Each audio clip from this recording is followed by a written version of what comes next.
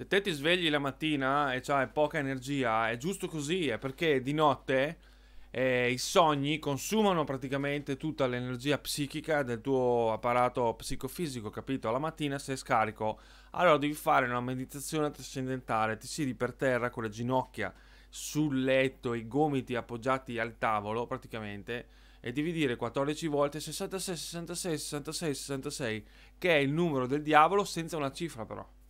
E questo fa in modo di creare un attrito nell'aldilà, quello contemporaneo praticamente, odierno, e questo dà un sacco di energia. Se in caso c'è qualcuno che ti sente fare questo per tanto tempo, è possibile che loro chiamano qualcuno di bravo che ti aiuti e anche questo dà tanta energia.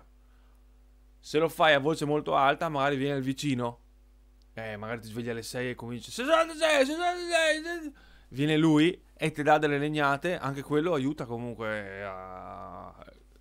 C'è, no? È giusto. Ricominci la giornata con slancio.